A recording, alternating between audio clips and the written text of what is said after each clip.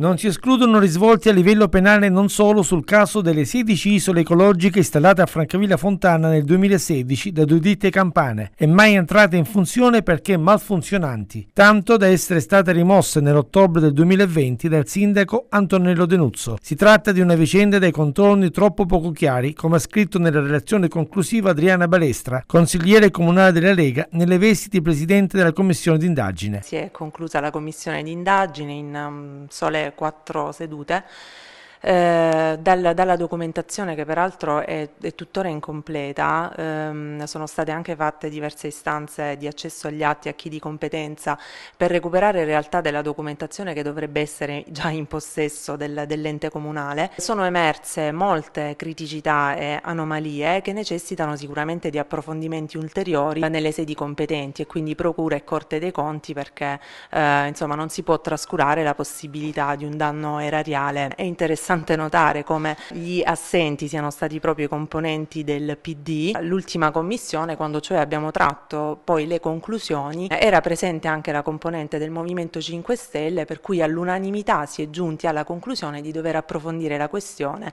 nelle sedi competenti della Procura e della Corte dei Conti. In un'interrogazione consigliare dell'ottobre del 2020 avanzata dai gruppi consigliari della maggioranza era stata ipotizzata una colossale truffa ai danni della città. Si dovranno accertare eventuali responsabilità responsabilità a livello amministrativo e politico per un caso già noto alla Regione Puglia.